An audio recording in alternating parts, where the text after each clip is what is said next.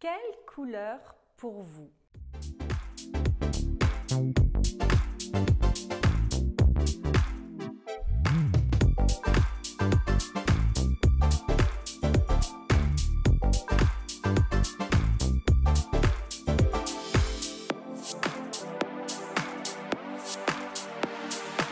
Bonjour, ici Mademoiselle M, révélatrice de votre meilleure image. Je suis ravie de vous faire cette nouvelle vidéo sur la couleur. Ça fait un bon moment que je ne vous en ai pas fait et je vais vous apprendre l'art de la couleur qui peut embellir une femme ou un homme bien évidemment.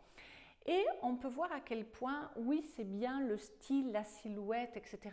Mais je vais vous prouver, je vais vous montrer sur moi-même, mais également ensuite en vous amenant dans mon ordinateur comment la couleur fonctionne et pourquoi certaines couleurs vont vous mettre en valeur et d'autres pas.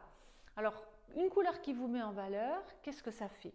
Ça vous donne bonne mine, ça vous donne de l'éclat, ça vous enlève des années, ça vous unifie le teint, ça fait pétiller les yeux, ça met en valeur la couleur de la chevelure, ça redessine l'ovale du visage, ça donne de l'éclat, ça donne du pep, ça donne du relief, alors qu'une couleur qui ne vous met pas en valeur, ça va vous affadir ou au contraire, ça va vous agresser. Ça va également euh, vous donner bonne mine, ça va vous donner les traits tirés, ça va faire comme si vous, même si vous avez du fond de teint, on dirait que vous n'en avez pas parce que ça va provoquer comme une séparation des pigments, ça va attrister le regard, ça va ternir la chevelure, ça va créer des ondes d'ombre sur le visage. Bref, que des belles choses comme vous pouvez le voir. Alors, qu'est-ce que vous préférez? La solution A ou la solution B Eh bien, c'est ce que je vais vous expliquer dans cette vidéo que je vais vous montrer sur moi et ensuite sur des exemples. Mais tout d'abord, si vous êtes nouvelle sur cette chaîne et que vous avez envie de recevoir mes conseils en look, en confiance en soi, en gestion de garde-robe et en féminité, eh bien, je vous invite à vous abonner. Vous cliquez sur le lien et si vous voulez recevoir mes vidéos hebdomadaires, je vous invite à vous abonner également en cliquant sur la petite cloche. Alors, il faut savoir que dans la couleur matière, qui est ce qui nous intéresse, alors pour celles qui sont nouvelles, je suis passionnée de couleurs, je suis tous les cours de couleurs qui existent sur cette planète entière. Et donc, euh, je vais vous, vous amener ici un brin de ma connaissance sur la colorimétrie. Et d'ailleurs, si vous restez jusqu'à la fin, je vous permettrai de bénéficier d'un de mes cadeaux couleurs. Donc, ce que je vous expliquais, c'est que lorsqu'on parle de maquillage, de coiffure, de vêtements. Nous sommes dans la couleur matière qui présente des caractéristiques différentes de la couleur lumière. Par exemple, au moment où je vous parle, j'ai une lumière qui éclaire ce visage. Ce ne sont pas les mêmes caractéristiques. Nous, ce qui nous intéresse là, c'est la couleur matière. Et dans la couleur matière, vous avez pas mal de caractéristiques qu'on ne va pas pouvoir tous utiliser au niveau du vêtement, parce qu'il y en a certaines qui seraient inapplicables, trop compliquées, etc. Mais les six, les trois caractéristiques, et vous allez voir qu'elles se décomposent par groupe de deux, donc au final on en a six, eh bien celles-là, elles sont basiques, elles sont incontournables. Il y en a, vous allez voir, que vous connaissez sûrement déjà, comme la première qui est l'intensité de la couleur, et puis d'autres avec lesquelles on est peut-être un tout petit peu moins familière, en tout cas pour certaines parmi vous. Donc une des choses que vous allez devoir euh, observer lorsque vous choisissez une couleur de vêtement, mais quand je dis une couleur de vêtement, ce sera aussi une couleur de chevelure, ce sera une, couleur d'accessoire, ce sera une couleur de maquillage, puisque finalement tout ça, ce sont des, schémas de couleurs dont on s'entoure et qui sont censés s'harmoniser à notre propre schéma colorimétrique qui lui-même se compose de la couleur de notre peau, de nos yeux et de nos cheveux à l'état naturel, je précise bien. Parce que si vous partez de quelque chose qui n'est pas naturel, vous n'allez pas pouvoir travailler correctement et vous allez finir par avoir des couleurs qui s'harmonisent soit à la couleur de vos cheveux, soit à la couleur de votre visage ou peu importe. Donc, une des choses, comme je vous disais, sur lesquelles il va falloir veiller, c'est l'intensité de la couleur. Parce que sur chaque visage, il y a une forme de hauteur de ton euh, qui va du plus clair au plus foncé. Et on va dès lors faire la moyenne de tous les pigments naturels qui sont sur le visage pour arriver à une famille de couleurs en quelque sorte qui vous va mieux que d'autres. Donc je vais vous montrer deux exemples. Ici, vous avez des couleurs claires. Donc, là, les couleurs claires, comment sont-elles obtenues?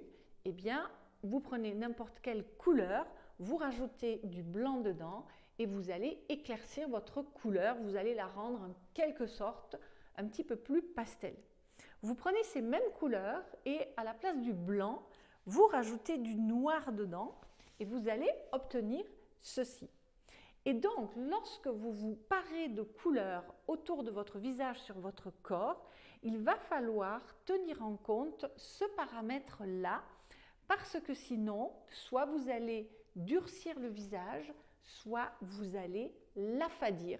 Parce que ce que vous voulez au final, c'est que votre regard et le regard de votre interlocuteur balaye le corps qui porte ces couleurs et le visage et votre visage dans une harmonie et qu'il n'y ait pas une espèce de cassure ou bien que le regard descende. Vous voyez, comme par exemple lorsque je porte ces couleurs-là, et puis bah, le regard il descend sur ma silhouette, mais il a du mal à remonter parce que ces couleurs ne me portent pas, ne me supportent pas. D'accord? Alors que si je mets des couleurs un petit peu plus sombres, là, on me voit davantage. Je ne dis pas que ça, ce sont mes couleurs, celles qui me mettent le plus en, valeur, mais à choisir, on va plutôt choisir ceci me concernant que cela. Donc ça, c'est une dimension que vous allez devoir prendre en considération. Quelle que soit votre couleur de peau, d'yeux, de cheveux, même si vous avez la peau noire, si vous avez la peau super blanche, Bref, c'est quelque chose qu'il va falloir prendre en considération. Autre chose qu'il va falloir prendre en considération, c'est la température du vêtement, du maquillage, de la chevelure. Température, c'est quoi? C'est ce qui va déterminer la, la tonalité d'une couleur. Et dedans, vous allez pouvoir soit avoir des couleurs froides qui ont une dominante de pigments bleutés, comme par exemple c'est le cas sur ces couleurs-là, et si vous voulez réchauffer une couleur au contraire, dedans, on va rajouter des pigments jaunes. Si vous portez des couleurs qui ne vous flattent pas, vous allez donner mauvaise mine à votre visage. Si vous êtes flatté par des tons chauds et que vous mettez des tons froids, ça va donner une mine grise, ça va donner une mine fade, comme si vous étiez malade. Bref, on dirait que votre visage se vide de votre sang si vous êtes flatté par des tons froids et que vous mettez des tons chauds, comme c'est le cas pour moi, eh bien je jaunis, c'est-à-dire qu'on a l'impression que je suis hépatique un peu. Alors que si je mets des tons bleutés, on aura au contraire l'impression que ma peau a plus d'éclat, a plus de peps et ainsi de suite. Alors que si je mets des tons froids, j'ai meilleure mine, ma peau est plus rosée, il y a plus d'éclat et une personne qui porte ces tons chauds aura un air beaucoup plus flamboyant, beaucoup plus doré, beaucoup plus doux comme ceci. Donc ça, c'est un deuxième paramètre à prendre en compte. Et puis un troisième paramètre, ça va être la saturation de la couleur. Parce que dans notre visage, on a du contraste ou pas, justement, entre la couleur de la peau, des yeux, des cheveux, parfois même avec le blanc de l'œil, les dents pour les personnes qui sont dans les peaux noires et ainsi de suite. Et donc, Là, il va falloir faire très attention parce que si vous êtes flatté par exemple par des tons mat et que vous mettez des tons lumineux sous le visage, eh bien vous disparaissez derrière, c'est-à-dire que vous êtes littéralement agressé par la couleur, elle vous hurle dessus, on vous voit plus et ce n'est pas évidemment l'objet. Par contre, si vous êtes flatté par des tons euh, lumineux et que vous mettez des tons mat sous le visage, eh bien, vous allez être, vous allez prendre 10 ans de plus. Ce sera terriblement triste, terriblement fade, terriblement terne. Donc là aussi, il va falloir, voyez, ça, c'est un peu fade pour moi, alors que ce n'est pas ma première caractéristique, mais si je mets des couleurs lumineuses, eh bien, j'ai plus d'éclat. Je supporte ces couleurs, même si elles sont un peu agressives pour moi. Et ensuite, une fois que vous aurez déterminé, alors je sais qu'on ne peut pas le faire toute seule parce que c'est très très difficile de se voir de façon objective. Hein. cet exercice est très difficile sur soi. Il faut aussi être outillé. Là, je vous ai montré des outils que j'utilise en entreprise pour faire des analyses de couleurs flash, je dirais. Lorsque je fais une analyse de couleurs euh, en, en, présentiel avec une cliente seule ou un client, eh bien, je n'utilise pas ces outils-là. Mais quoi qu'il en soit, vous devez être outillé et vous devez avoir un regard objectif sur vous. Et ensuite, chose qui est beaucoup plus difficile, parce que cette première étape, à la rigueur, je ne dirais pas qu'elle est facile, mais elle peut être abordable si vous êtes vraiment objectif. Parce que attention, les couleurs qui vous plaisent ne sont pas celles qui vous mettent en valeur. Donc attention à faire le distinguo entre ce que vous aimez et ce qui vous met en valeur. Je vous rassure, parmi les couleurs qui vous mettent en valeur, il y en a toujours forcément qui vous plaisent. Donc il y en aura peut-être une ou deux qui ne vous plaisent pas, mais ce n'est pas important parce que de toute façon, vous avez une infinité de couleurs à porter avec la méthode directionnelle dont je vous parle depuis le début. Et donc, même si vous me dites j'aime pas le jaune ou j'aime pas le bleu, eh ben, c'est pas grave, vous aurez euh, toutes les couleurs de l'arc-en-ciel par ailleurs à porter. Bref, tout ça pour dire qu'après, une fois que vous avez ces trois caractéristiques, le plus difficile, c'est de les mettre dans l'ordre parce que, eh bien, on est face à trois caractéristiques qui vous mettent en valeur, mais néanmoins, il y en a forcément une qui sera la bonne. Et me concernant, eh bien, ça va être les tons froids que voici. Par exemple, je, me prends un exemple puisque je suis face à vous dans cette vidéo. Voilà. Ça, ce sera ma première caractéristique. Ensuite viendra le lumineux. Et ensuite viendra le sombre qui est euh, bah, justement un peu trop sombre pour moi. Voilà. D'ailleurs, vous voyez, aujourd'hui, je suis dans des vêtements, je dirais, euh, qui correspondent à ma caractéristique, mais euh, c'est ma limite du sombre véritablement. Bref, à présent, je vous amène dans mon ordinateur pour vous montrer cela un petit peu différemment.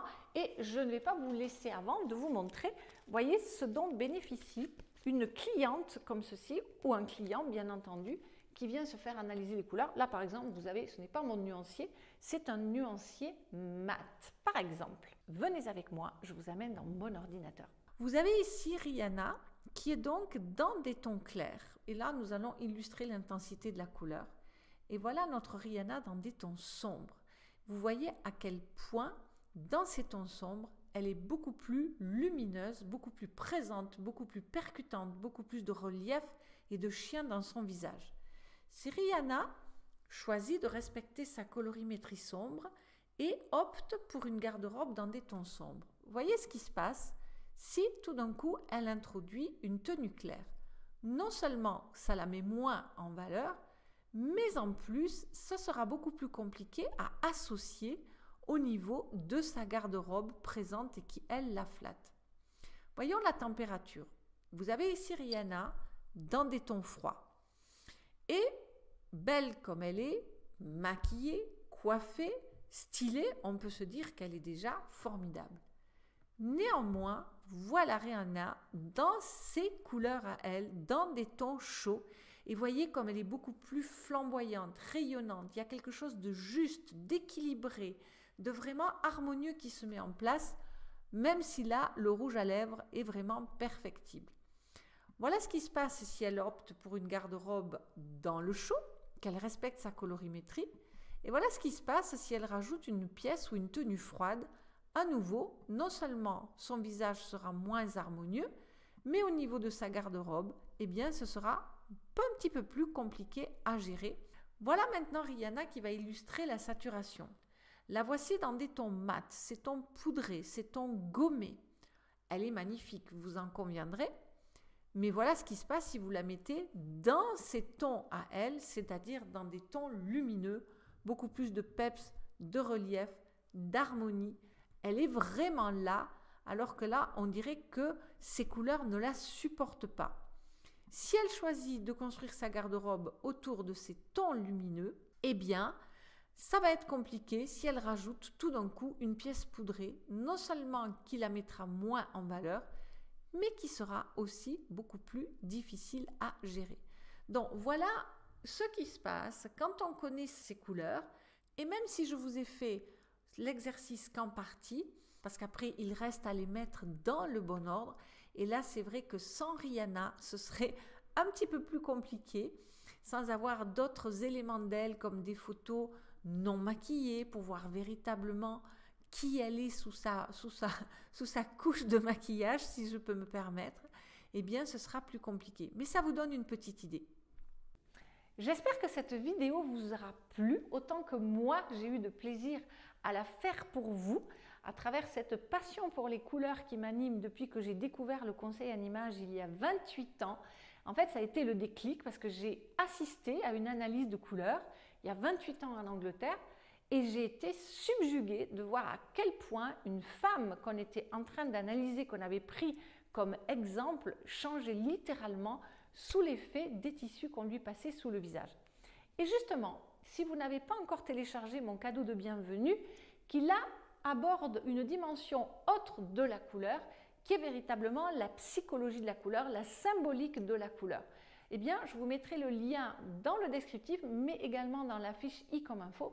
Et puis, bien sûr, si vous, évidemment, parce que pour moi, c'est la base d'un relooking, je sais qu'il y a des personnes qui disent ah ben Moi, je connais mes couleurs, euh, je, je, je, je m'intéresse qu'au style. Alors, je sais que de toute façon, si elles ne se sont pas en fait analysées les couleurs, elles n'exploitent de toute façon pas tout leur potentiel de couleur, ça c'est une certitude. Et par ailleurs, ce que je voulais vous dire, c'est que donc euh, quand vous faites un accompagnement, non seulement vous allez connaître vos couleurs, vous allez apprendre à rayonner, à mieux acheter, à faire de, meilleurs choix de shopping, mais ensuite, si vous respectez vos couleurs dans votre garde-robe, eh bien, si vous me suivez, vous le savez, ça devient less is parce que tout devient assorti comme par magie. Et justement, si vous avez envie de découvrir vos couleurs à vous, eh bien, vous avez mon accompagnement en ligne, première impression 100% pur soie, dans lequel vous aurez non seulement la couleur, parce qu'il n'y a pas que la couleur dans la vie, même si c'est fondamental et essentiel à plus d'un titre, mais vous aurez l'intégralité de l'accompagnement, la silhouette, le style, la coiffure, le maquillage, les accessoires, la confiance en soi, la gestion de garde-robe, comment faire votre shopping et bien sûr un merveilleux groupe privé Facebook que sont les beautés rayonnantes et qui vont vous accompagner avec moi, avec bienveillance et dans la joie et la bonne humeur. Mettez-moi un pouce en l'air si vous aimez ce genre de vidéo. Partagez-la si cela vous fait plaisir. Moi, ça m'aide énormément parce que évidemment, ça m'aide à continuer à vous fournir tout ce contenu, tout ce que je vous offre avec plaisir chaque semaine. Donc, diffusez-la, partagez-la, aimez-la, commentez-la surtout aussi bien sûr. J'adore lire vos commentaires.